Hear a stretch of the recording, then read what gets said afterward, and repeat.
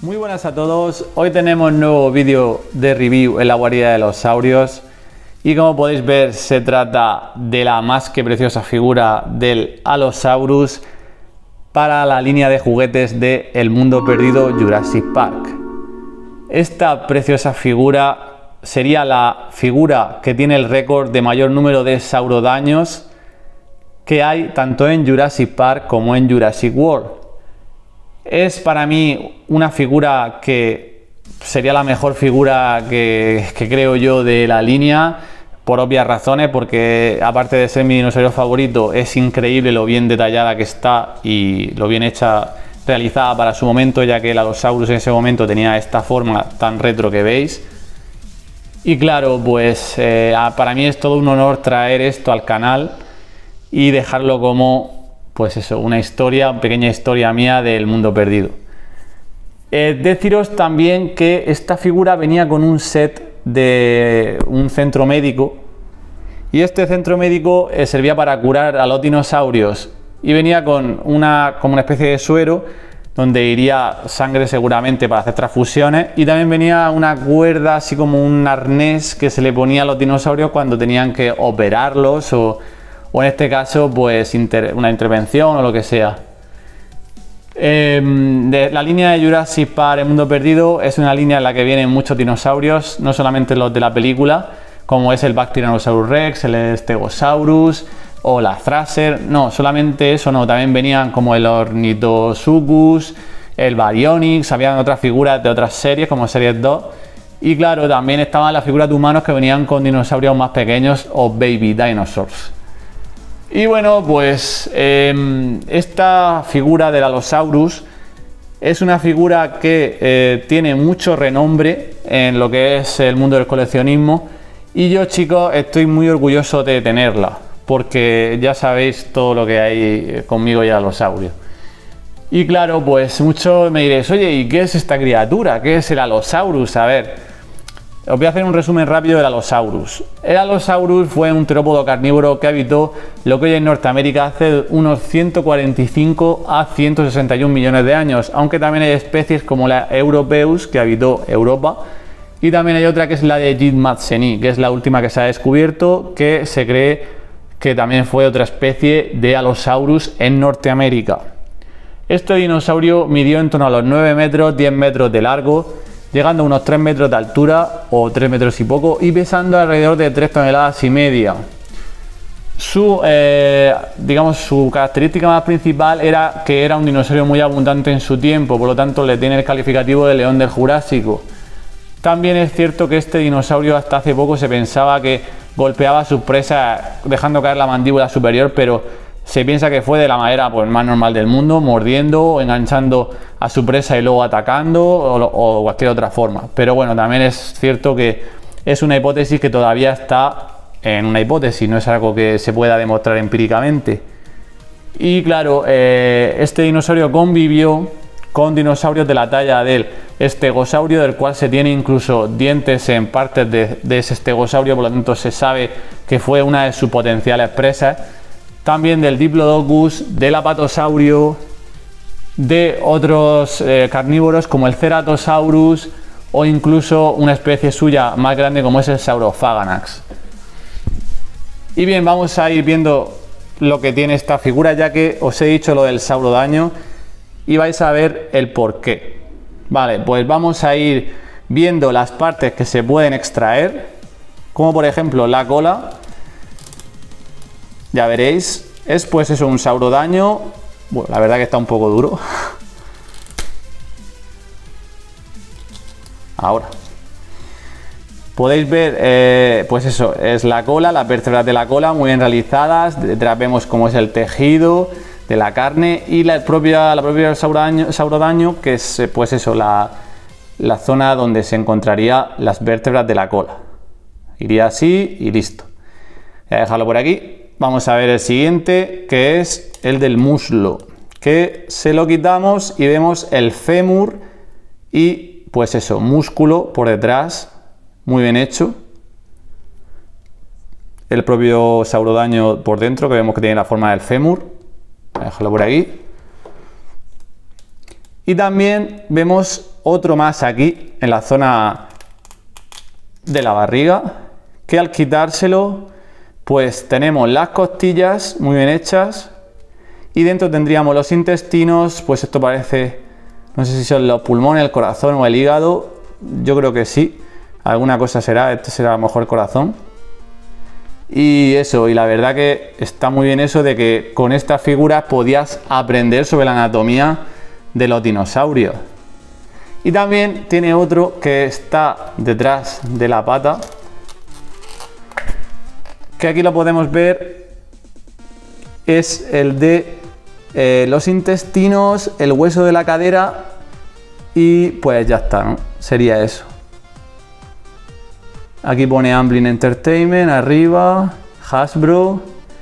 Y bueno, es una pena que no lo pintaran, pero igualmente es todo un acierto que pusiesen algo así y ya pues se quedaría cerrado.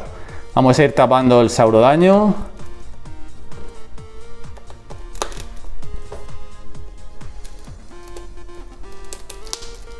Ya estaría tapado todo.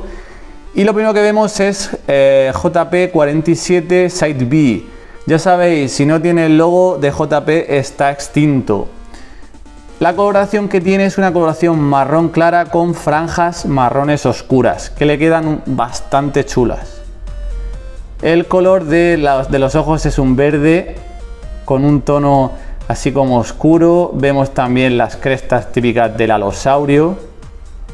La boca que podemos ver que está pintada también. La lengua, madre mía, es increíble cómo se ve esta figura y eso que es un juguete. La lengua, los dientes, el cráneo, mirad qué bien hecho está para ser un juguete. Eh, lo único malo que le veo eh, son las garras que no están pintadas, ni tampoco las de, las de las patas traseras. Pero lo demás es increíble. Fijaos la barriga de color, bueno, la parte baja de color blanco, el hueso del isquion de la cadera. Remarcado, fijaos esta vena por aquí, la cola, pues eso, muy bien proporcionada y pintada hasta el final. Eso también está muy bien. Y lo demás, pues eh, ya podéis ver, muy bien realizada, la verdad. lo que vienen siendo eh, las articulaciones, pues serían las patas delanteras, que tienen pues arriba y abajo. No del todo, porque pues está bien que sea así. Y las patas traseras también, arriba y abajo, no son 360, pero igualmente tiene una amplitud buena. La verdad que se ve muy chula la figura. Y bueno, eh, algunos me diréis, oye, ¿la recomiendas? Pues claro que la recomiendo. Si ya os he dicho, es mi figura preferida del Allosaurus, eh, aparte también del mundo perdido. Entonces la recomiendo infinitamente no solamente por, lo que viene siendo el tema de que tenga tres saurodaños y demás, no, no, sino solamente con el hecho de que es una figura de alosaurio de, pues eso, una película en la cual no salió, una pena, lo tuvimos en Jurassic World, pero este alosaurio me gusta más. Seguramente algunos coincidan conmigo en que este es más bonito que el que vimos juvenil en Jurassic World. Y bueno, en aquella época tener una figura de alosaurio de la marca Jurassic Park también era innovador. Y claro, para conseguirla, pues la única forma de conseguirla es en, si sois de España, en tiendas de segunda mano, eBay o Wallapop y demás, y si sois de Latinoamérica, en Tianguis. Vamos a pasar a la comparativa. Así que voy a por unos dinosaurios. Y bien, vamos a compararla primero con la figura del Velociraptor que pues podemos ver que está muy bien. Está bastante chula al lado de este Raptor. Que es un molde del, Raptor de pues, de Jurassic Park. Vamos a compararla también con la figura del joven T-Rex, el que vimos salvando, o sea, salvado por Nick Van Owen y Sarah Harding.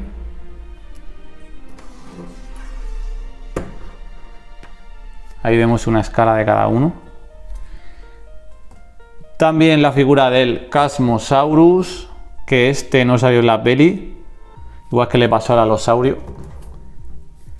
No salió en la película pero es una figura mm, de 10, o sea, está muy bien hecha.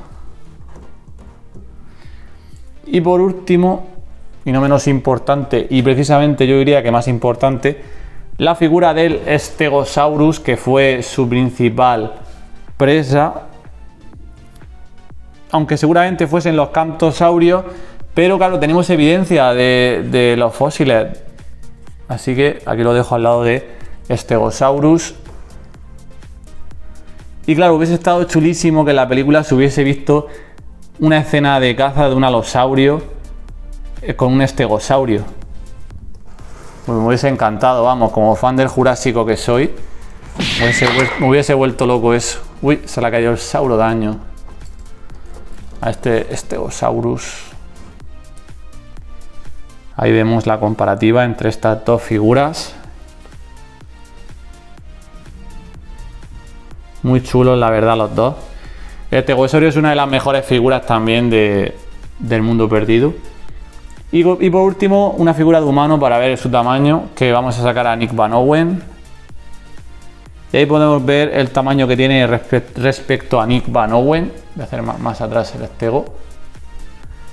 Y un poco más adelante el halo.